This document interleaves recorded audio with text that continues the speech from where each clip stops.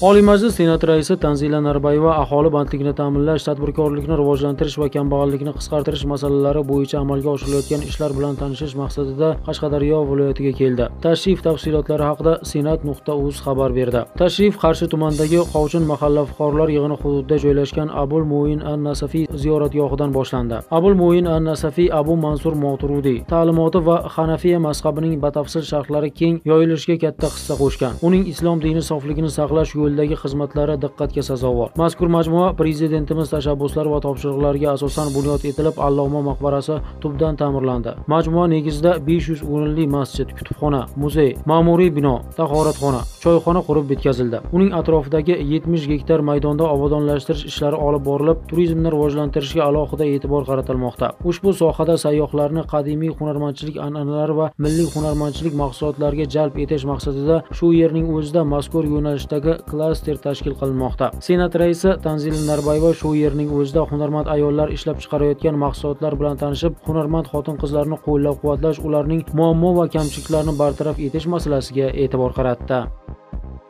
G'alla 2020 5 kunligining eng ilg'orlari taqdirlandi. Viloyat hokimi tomonidan g'alla o'rimi davomida har 5 kunlikda mavsumda yuqori ko'rsatkichlarga erishgan ilg'orlar taqdirlanishi to'g'risida aytib o'tilgan edi. Mehnatkashlar orasidan eng ilg'or kombayn operatori, eng ilg'or otryad rahbari, eng ilg'or otryad a'zosi, eng faol g'alla tashuvchi avtomashina haydovchisi nominatsiyalarining har biri bo'yicha 3 nafardan ilg'orlar munosib taqdirlanishdi.